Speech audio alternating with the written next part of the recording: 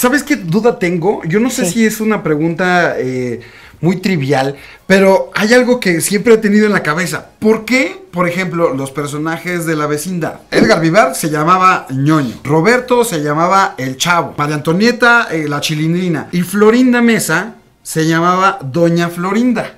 ¿Por qué conservaste el nombre o por qué te lo No, hizo no lo conservé yo. No, no, no. ¿Qué crees? Perdón, eh. Nomás me No, lo no, quito. no, está- me lo está- quito, a, está- me lo quito a vistas, me lo quito a vistas. es lo bueno de estar entre cuartos. Exacto. Mira, este, resulta que cuando empecé, todo la, eh, la cápsula del chavo, el programa era Chespirito y podía haber chapulín, chifladitos, caquitos y una sección llamada Variedad Chespirito que podía tratar de sketches variados. Entre ellos había imitaciones del gordo y el flaco o de Chaplin, pero podía ser toda la hora de- del chapulín, toda la hora, en fin. El sketch que estaba, pero así pegando fuerte, eran los chifladitos.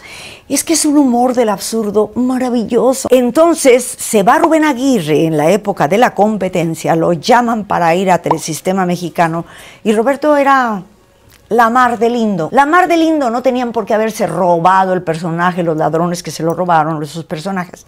Porque, por ejemplo, a Rubén le dijo, como a ellos, María Antonieta se fue también eh, y regresó. Le dijo, me ofrecen esto, este programa para mí en Telesistema Mexicano. Este, no sé qué hacer. Dice, mira, me estás preguntando para que te diga lo que quieres oír. Está bien, acéptalo, pero no te molesta. No, hombre, estás en tu derecho de, de aspirar a tener tu propio programa. Me da gusto que, un- que alguien de mi compañía, alguien que, que- que yo formé, eh, ahora se ha llamado para tener su propio programa. Bienvenido sea este momento. También, tranquilo, si las cosas no van bien, Aquí las puertas están abiertas. Me duele, se me hace nudo y me duele el alma de recordar eso porque era el hombre más bueno del mundo. Lástima que ya falleció Rubén, pero él lo dijo varias veces. Él sí lo dijo varias veces. Cada vez que a él lo llamaban para películas, para eso, o que quería usar el personaje, iba con Roberto y le decía, oye, me ofrecen esto que no sé qué.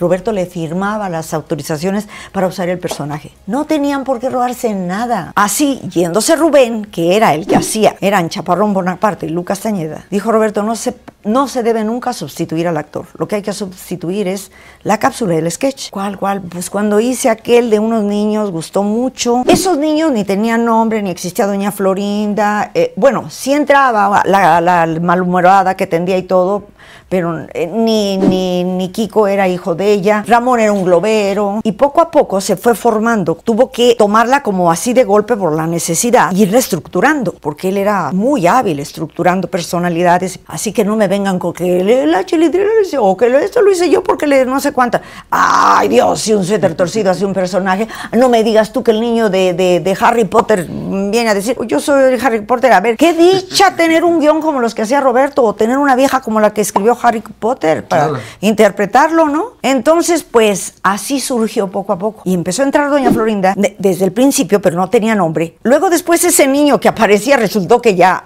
fue mi hijo, porque ya la estructuró como no era malhumorada porque sí, todo tenía un background, su historia. Un rollo psicológico. Sí, eh, y, y una historia atrás, ella había este, venido a menos, ella era de Gran Prosapia, se casa con un marino, vive de la, de, de la pensión, pero Roberto me dice, necesito el no- un nombre que suene a Gran Prosapia, pero venida a menos. Ah, puesto un nombre. Florinda Mesa como Doña Florinda.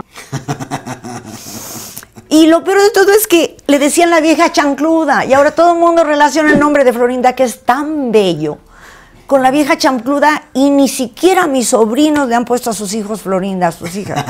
Nadie. Pero ¿sabías cómo se llamaba doña Florinda? ¿Cómo? Doña Florinda Corcuera y Villalpando, viuda de Mátalas Callando. Si quieres ver el video completo, aquí está la cajita. Porque hay muchísima más información para ti, para que te entretengas y para que te la pases muy bien. Y aprovechando el mensaje, no olvides suscribirte, activar la campanita y darle like. Esos tres son el co- combo ganador para que tú sigas disfrutando de mucho entretenimiento de parte de nosotros. Yo soy Alex Montiel. Nos vemos en el siguiente. Bye.